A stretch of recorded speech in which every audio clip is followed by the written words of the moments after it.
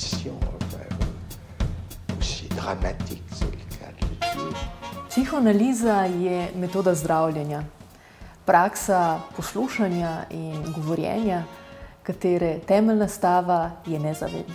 Freudovo odkritje nezavednega vsekakor predstavlja enega glavnih menikov človeške zgodovine. Ampak enak premik, enak prelom pa predstavlja po Freudu še neko drugo ime.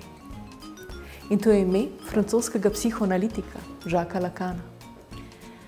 Lakanovska psihoanaliza danes v svetu predstavlja eno glavnih smeri, kar je popolnoma skladno z izjemnim Lakanovim vplivom na tako različna področja, kot so psihiatrija, psihologija, pravo, pedagogika, socialno delo, po drugi strani na filozofijo, umetnost, književnost, družbene vede, naprimer na politologijo, kulturne študije. In uh, zato je še toliko bolj pomembno, da je v zadnjih letih uh, lakanovska orientacija, lakanovska psihoanalitična smer našla pot tudi v Slovenijo z vso svojo močjo in z vsem izjemnim vplivom lakanovega dela.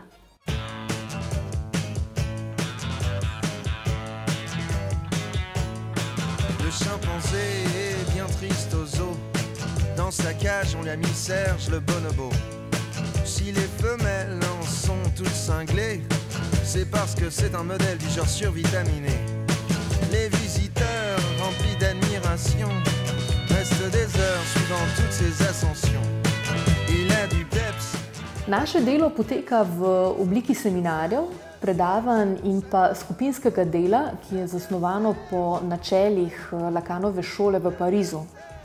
Pri tem pa seveda glavni del eh, predstavlja lasten vstop v analizo, ki vsakomur omogoči soočanje z vprašanjem njegove lastne želje, njegovega lastnega užitka in pa po opravljeni psihoanalitični formaciji tudi vstop v kontrolno analizo oziroma tako imenovano supervizijo. Les enfants restent interloqués de voir en public ce singe les initier. Il a du peps, pas comme mon kleps, ce vieux cher Le vieux Serge, c'est un sacré bonobo. Lakanovska invencija, njegova kreacija, je vselej izhajala iz Freuda.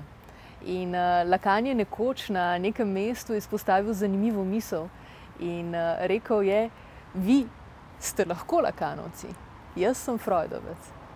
In uh, zato ni nenavadno, da je Lakanovska psihoanaliza v Sloveniji našla svoj prostor in svoje mesto natanko na Univerzi Sigmunda Freuda v Ljubljani.